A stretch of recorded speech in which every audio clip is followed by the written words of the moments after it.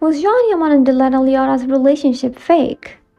Rai sports journalist Paolo Ferrari has returned to raise doubts about the love story between Can Yaman and Diletta Leotta.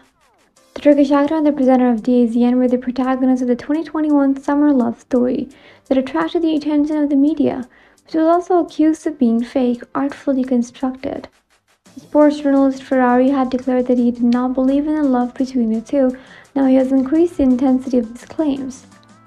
Meanwhile, according to Italian celebrity gossip expert Alessandro Rosica, Can Yaman would be ready to return to Demet Özdemir, a Turkish colleague with whom he would have been secretly dating from 2018 to 2020. According to Rosica, Leotta was instead spotted a few weeks ago in Ibiza, together with the model Giacomo Cavalli. Can Yaman and Demet Özdemir were never just friends.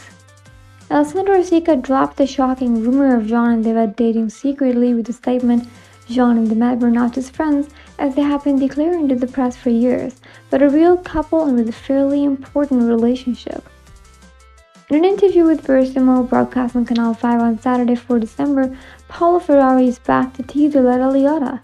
Specifically, the pace of Domenica Sportiva denied the relationship between the Sicilian presenter and the Turkish actor Can Yaman, a relationship that lasted only six months but that made people gossip for a long time.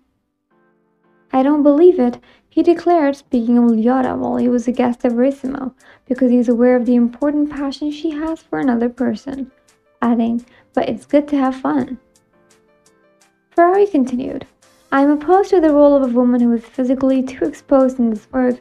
It is not the feminine of seduction that is needed to be credible, but everyone is free to do what they want.